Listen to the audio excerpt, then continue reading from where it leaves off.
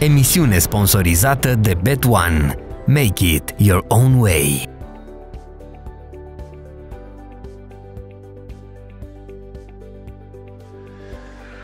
Hristos a înviat, uh, prieteni, vă salut, uh, să-i cinstim și pe stimații uh, donatori, să-i felicităm pe cei care au reușit să câștige în această perioadă. Eu nu mă trec în lista donatorilor și nici în lista câștigătorilor pentru că nu am jucat în ultimele șapte zile și după cum se vede 5 kg am pus pe mine în doar 7 zile, ai eu zic că e bine ce înseamnă să nu te stresezi și să te deconectezi puțin de la acest joc, dar eu zic că mini-vacanța s-a terminat. Astăzi suntem la episodul cu numărul 18, am ajuns repede la vârsta majoratului. Uh, vă voi oferi bilete pentru astăzi, joi și vineri. Bineînțeles, avem și recomandări pe UEFA Champions League, recomandări pe Europa League. Am un super bilet, fraților, uh, primit doar de la dumneavoastră.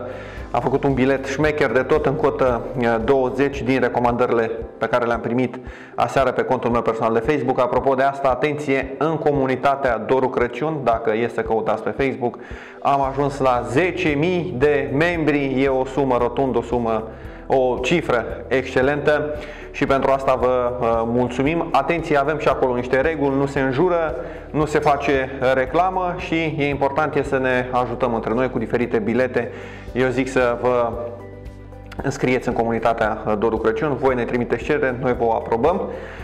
Pe contul de Instagram suntem 18.700 de oameni, pe Facebook, pe contul meu personal 47.000 de oameni. Absolută nebunie și aici Iată-ne pe, că pe contul de eh, YouTube am reușit și să, aici să ne, adu, eh, să ne adunăm la 5200 eh, de oameni. Eu zic că e senzațional ceea ce facem. Și apropo de asta, haideți să vedem foarte scurt cum ne-am descurcat în aprilie, să vă arăt o statistică, pentru că așa e corect și față de mine, în primul rând, dar și față de voi. Eu știu pentru că mă uit în contul meu și știu cum stau lucrurile, dar față de voi.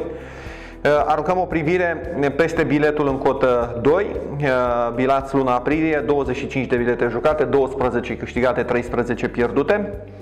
Uh, au fost niște bilete pierdute în cotă 2 când am luat calmante și așa mai departe, când am putut să dorm nopțile. Voi le știți pentru că mi-ați urmărit biletele, am zis să nu vi le mai arăt exact pe ce am pierdut. Deci am avut 12 bilete câștigătoare și 13 pierdute la cota 2. Vedeți și bilanțul la cota 2 pe celelalte luni. Eu cred că orice om sănătos la cap ar vrea ca din pariuri măcar să-și dubleze investiția, chiar și dacă am vorbit de 30 de lei, dacă cineva dă 30 de lei în fiecare zi, tot faci 900 de lei într-o lună, e ceva fantastic.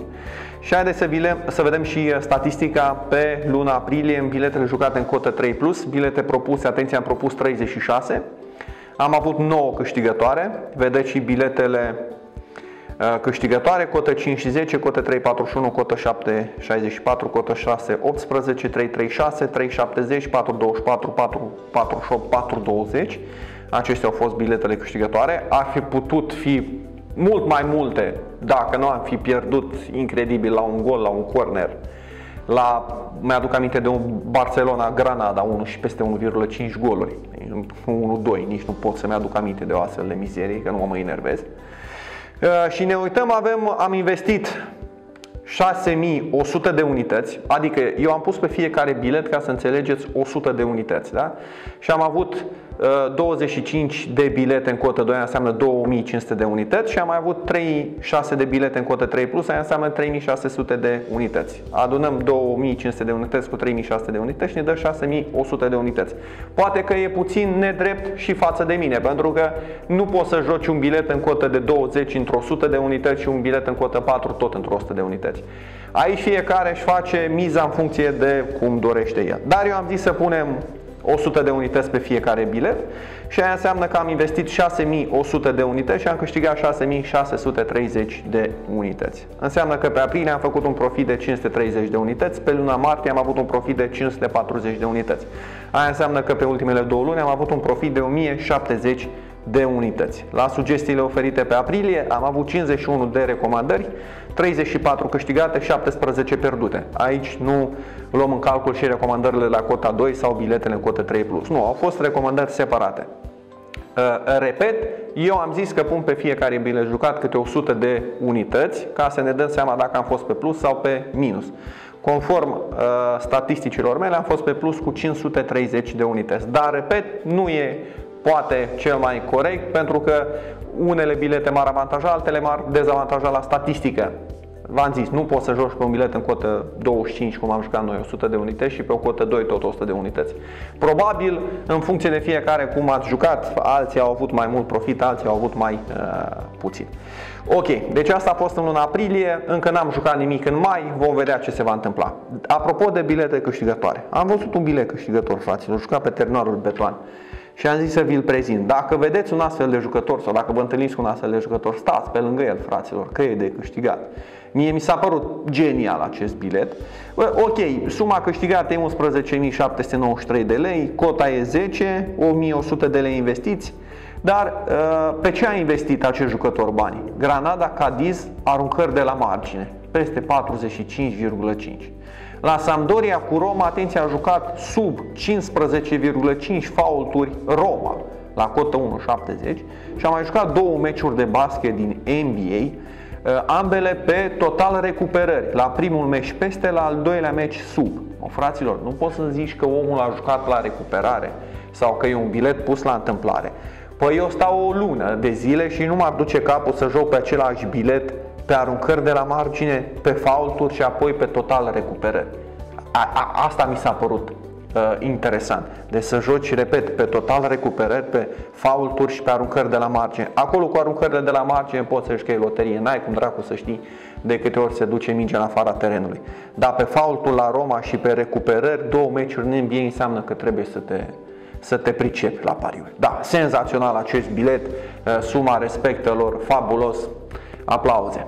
Dacă tot vorbeam de betoan, am primit și o veste bună în această perioadă, s-au redeschis, fraților, locațiile, începe petrecerea, vine și campionatul european, se cam poate juca în toate marile orașe, dacă vreți să jucați pe terminalul Betoan, să știți că aveți cele mai bune cote, e un terminal de ultimă generație, aveți câteva super eh, promoție, aveți cash out, puteți să jucați așadar și la stradale și vă bucurați de cash out, stai într-un singur eveniment, te duci cu biletul pe terminalul beton, îți dai cash out. Ai și cash out uh, instant, îți primești banii pe loc, oriunde ai jucat și oricât ai uh, câștigat.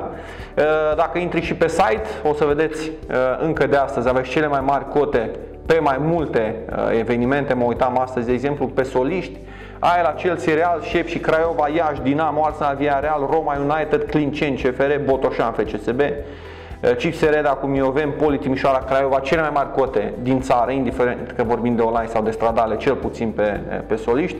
Și nu uitați de blogul Betoan, unde și eu câteodată uh, pun uh, ponturi, dar aveți și super informații Uh, și uh, super avancronici pe cele mai importante meciuri ale zilei. Dacă tot vorbeam de uh, Betoan, haideți să vă arăt ceva foarte interesant. Eu zic că cei mai șmecheri pariori sunt cei care joacă pe termen lung și în oferta de pe terminalul Betoan, fiți atenți că și eu sunt acum pe site, găsim cine câștigă campionatul în Liga 1. CFR, fraților, cotă 1,70, bani pe jos. Doar trebuie să dai cu mătura. FCSB cotă 3. Aia nu cred că asta ar însemna că, bine, CFR are câteva deplasări grele, are și la Craiova, are și la Botoșani și mai are acasă cu FCSB. Craiova joacă la șep și dacă nu bate, cred că a ieșit din cursa pentru titlu. FCSB în mod normal bate etapa asta la Botoșani. Cred că final, finala se va juca la Cluj între CFR și FCSB, dar totuși eu m-aș duce pe această cotă de 1,70. Lucrurile sunt și mai interesante când vorbim de retrogradare. Fiți atenți aici să retrogradeze Dinamo cotă 2,75 fraților. Eh, dacă ai turnat prea mulți bani în DDB, acum ți pot scoate.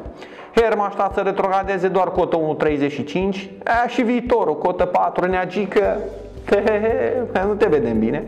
Dar uite, să nu retrogradeze, pui de exemplu pe Dinamo, ai cotă 1,40 să nu retrogradeze, Iașu cotă 4,75. Eu aș zice că retrogradează Iașu cu Hermannstadt și asta nu după cote. E, și nu poate retrograda voluntare, aia se înțeleg pe acolo, n-au ce treabă. Dinamo totuși nu îi lasă. Și da, face campionatul de 28 de echipe dacă e caz. Da, v-am zis, pariuri pe termen lung foarte, foarte interesante. Și dacă vorbeam de Liga 1, am făcut și eu un bilet în cotă 3,79 pe 3 meciuri și urmează, fraților, primul bilet al zilei.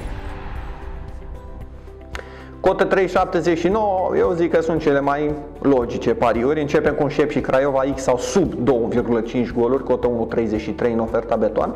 Asta ar însemna ca Șep și sau Craiova să bată cu 2 la 1 sau 3 la 1. Eu scot din calcule așa ceva. Nu știu dacă Craiova pierde, adică pierd și cu Clinceni, pierd și cu Șepși. Să nu fie un 0 la 0, un 1 la 1 pe acolo, sau să bată Craiova cu 1 la 0, deși Șepși e e foarte periculoasă. Clinceni CFR 2 și sub 3,5 goluri, cotă 1,74. Și eu nu cred că la vârsta noastră, fraților, și după 14.000 de nopți nedormite, mai credem în basme da? și în zâne. Botoșan FCSB 2 solist, 1,64, cota e în scădere, nicio emoție. Probabil o să ajungă la 1,40 la ora meciului. Deci acesta este primul bilet a zilei, cotă 3,79, cotele le-am luat de pe terminalul Beton fraților, am jucat doar pe Liga 1. Și acum haideți să vedem uh, ce vom juca în Chelsea cu Real Madrid. Am găsit și aici 3 ponturi, uh, zic eu, chiar de jucat. Se joacă pe Stamford Bridge meciul în tur 1 la 1 după ce Chelsea a cam călărit pe Galactic 90 de minute, dacă minutul 30 era 3 la 0 pentru londonezi, nu se nu se supăra nimeni. Uh, nu sunt probleme mari de lot în cele două uh, tabere, țineți cont uh, de asta. Din câte am înțeles, ar putea să joace Sergio Ramos, n-am apucat să vorbesc astăzi cu Zidane, cei drept nici n-am dat de el, dar am înțeles că va juca Ramos în centrul defensive, Modric, Casemiro, Cross în fața apărării, Asensio, Benzema și Vinicius în atac, totuși cam greu, cam greu să o bați pe Real Madrid și în retur, sau să o bați în retur. Dincolo, Pulisic, Werner în atac, nu sunt probleme. Kovacic nu va juca la Chelsea, Rudiger e incert, Mendy uh, este incert la Real, Carvajal și Varan uh, nu vor juca. Da, două pierderi importante aici pentru Real Madrid. Dar ce ar fi de jucat pe meciul de pe Stamford Bridge? Vedem și cotele fraților, 2.23 victorie Chelsea, 3.50 la egal, 3.74 pe Real Madrid. Cu siguranță vor arunca băieții sute de mii de euro la nivel mondial, așa sau dacă nu milioane de euro pe victoria Realului, pentru că această cotă de 3,74 chiar îți face cu ochiul. Dar atunci când atacul Realului joacă oameni buni Benzema, când joacă și Vinicius, joacă și Asensio și Real Madrid are nevoie de gol, n-ai cum să nu joci Real Madrid marchează la cotă 1,47. Peste 4,5 cartonașe galbene că e ursatul la centrul terenului și că va fi intensitate și mai jucăm X2 la cotă 1,75. Acestea ar fi cele trei recomandări pe uh, Chelsea Real Madrid. Repet, nu cred că Realul pierde, cred că vom avea 5 cartonașe galbene. Am văzut și aseară câți nervi au fost în City cu PSG și cred că Realul va marca în această seară pe Stamford Bridge. Haideți să vedem cum arată cota 2 uh, pe meciurile de astăzi. Chelsea Real Madrid oaspețe marchează Șep și Craiova X2 1.38. Cred că am mai mari emoții la cota de 1.38. Mă tem, mă tem de echipa lui Grozavu că e foarte imprevizibilă și poate încurca pe oricine. Mi-aduc aminte și de Victoria cu FCSB în tur, chiar în play-off a fost 0 la 0 în, în Oltenia, dar totuși, repet, nu o văd pe Craiova pierzând două meciuri consecutive. Mai ales că dacă echipa lui Ozunidis a, a pierdut adio titlul și dincolo Real Madrid v-am zis, bă, oameni buni, miliardul de euro pe teren, dacă ai nevoie de gol, cred că chiar dacă Tuchel are o super defensivă, Realul tot va marca la cotă 1.47. Acesta ar, fi, acesta ar fi biletul în cotă 2 pe astăzi. Haideți să vorbim foarte pe scurt de Europa League. Nu mi, nu mi se par două meciuri atractive pentru pariuri de jucat. Uh, de ce spun asta? Arsenal, Via Real, meci foarte, foarte greu de anticipat. În tur a fost 2 la 1 pentru Via Real, deși cred că submarinul galben merita să câștige la o diferență mai mare uh, de goluri. Acum se, jo- se joacă în, uh, în Anglia, Via Real, e greu să joci contra ibericilor, știi, mereu am spus asta mereu, 1.90 are Arsenal la victorie, 3.66 la egal, 4.50 Via Real la victorie, am văzut o cotă excepțională pentru Via Real să se califice pe terminalul Betoan. Eu totuși, fraților, să mă duc pe ambele, marchează 1.70. Să știți că Arsenal nu cred că scapă fără să primească gol. În fața Via Real, cu Carlos Baca în atac cu Moreno, pe scapă băieții aia pe contraatac, Unai Emery, șmecher, antrenor.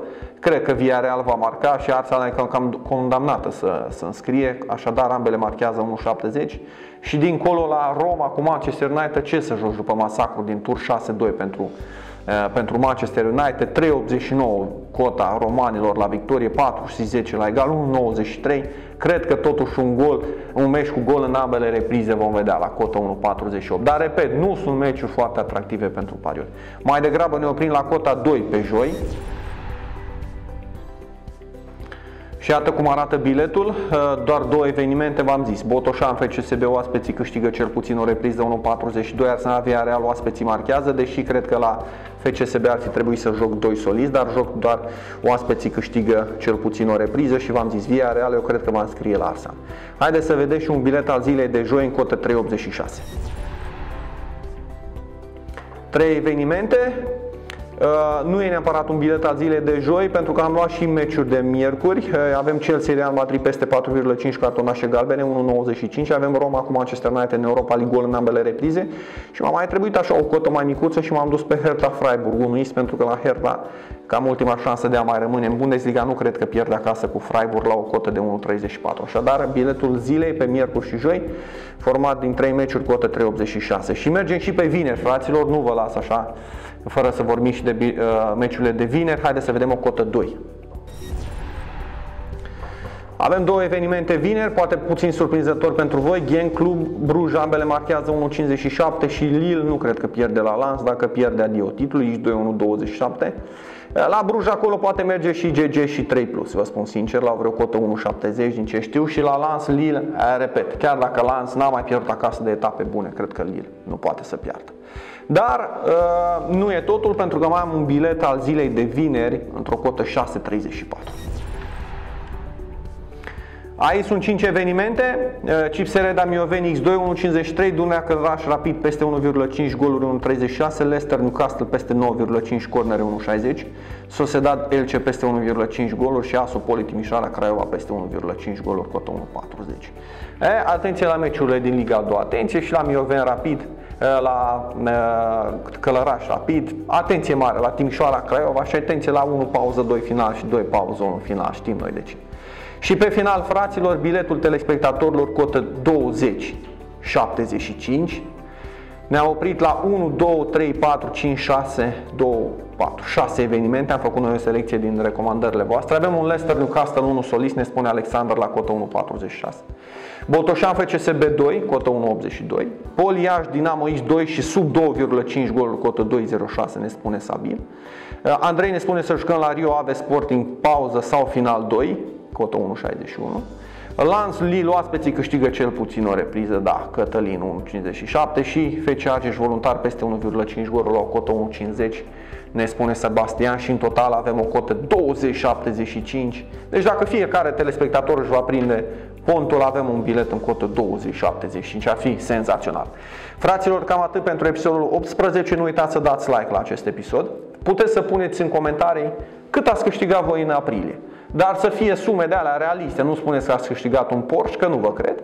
Ați văzut statistica mea, vă invit și pe voi în comentarii să ne scrieți cât ați câștigat în aprilie, nu uitați să dați like la episod și bineînțeles să vă abonați la canalul de YouTube. Ne revedem pe weekend cu episodul cu numărul 19. Până atunci, variați responsabil. Emisiune sponsorizată de Bet One. Make it your own way.